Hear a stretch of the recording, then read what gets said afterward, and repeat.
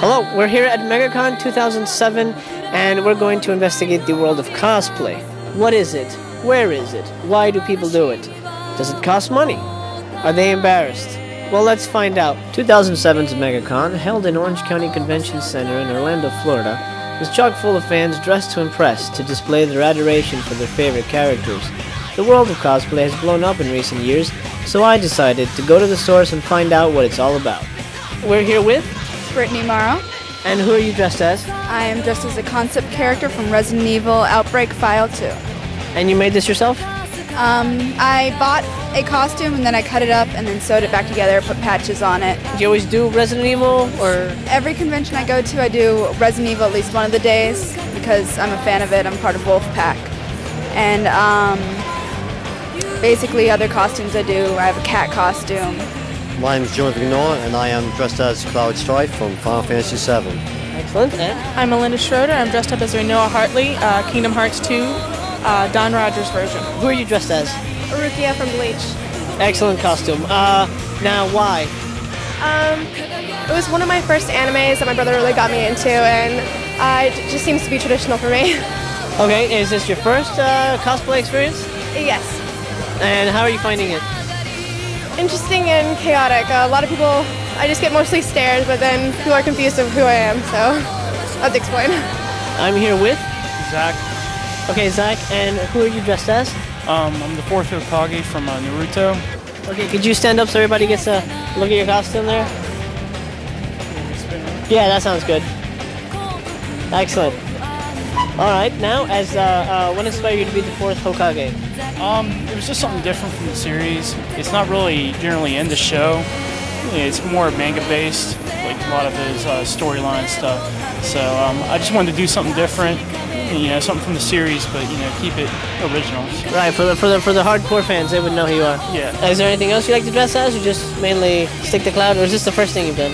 Uh, this thing, this, last year I went as Cloud Strife as well, and um, I always just dress up as other anime characters from shows and all. What's your favorite? Well, my favorite anime show is Trigun. Excellent. So you're you do Vash? Yes, I was Vash last year, and I will be tomorrow. Excellent. Well, well, we'll see him as Vash tomorrow. What got you interested in dressing up, uh, you know, for other people, sort of? You know, I mean, you do it for yourself, but you know, you're in front of other people. What? Uh, Um, I guess I like the attention a little. Um, I model, act, and dance, so. Excellent. Well, yeah, yeah. That's why she agreed to be uh, uh, interviewed. Uh, you made this yourself? Yes, I did. How long did it take you? Uh, it took about two months. Two months. Like to find fabrics and all that. Yeah, just fabrics and find various pieces to add onto it and everything. And um, once I got all together, then it pretty much went downhill from there. So. Excellent. Uh, is this the only thing you do? You do other things, or? Um, yeah, I also um, work on music videos and also have a band currently. Um, Plug it. played out a couple times. Huh? Plug. Go ahead and plug your band. Plug our band. Yeah. Name. Oh, the band? Oh, we're Alchemy. Did you make this yourself? No, I got it on eBay. Oh, okay. She cheated. Okay. All right. Um, uh, she's your favorite character, I guess. Or? She's my favorite character on Final Fantasy VIII, and this is just her version as if she would be in Kingdom Hearts. So Okay. Excellent. And um, is this your first costume, or? I'd say this is about my fourth or fifth costume. Um, this is my second MegaCon, really. But uh, my first costume here was Duo Maxwell from Gundam Wing. He is my favorite, so ever. So Very cool. And you made this yourself? um, some of, most of it I made. Uh, others it was just I had to order parts, pieces and parts. But other than that, yeah. Um, so you're not going to do it professionally, like be a, a costumer professionally? Um, costuming professionally, it's really tedious. It takes a lot of time, and I'm not very patient, so it doesn't work very well. Gotcha. Is there one that you haven't done yet that you're you- you're just dying to make? I want to make an Ada Wong costume from Resident Evil 4. I like the dress a lot. What other costumes do you dress as, or is this the first one? Uh, no, I do some video game ones and also some other anime series. I've done a Naraku costume in the past.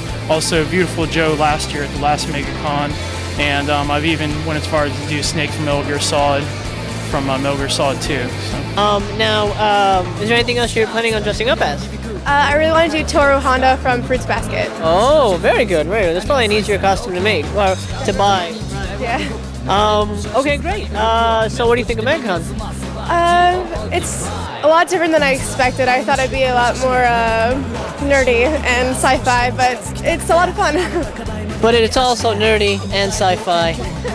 Well, there you have it. The world of cosplay is myriad. There's video games, uh, anime, movies, um, tons of stuff. Mostly anime, I'd say. But um, you know, it's gonna be around for a while. People love to do it. It's fun, and I say, hey, it makes you feel good. Do it. Thank you very much for watching.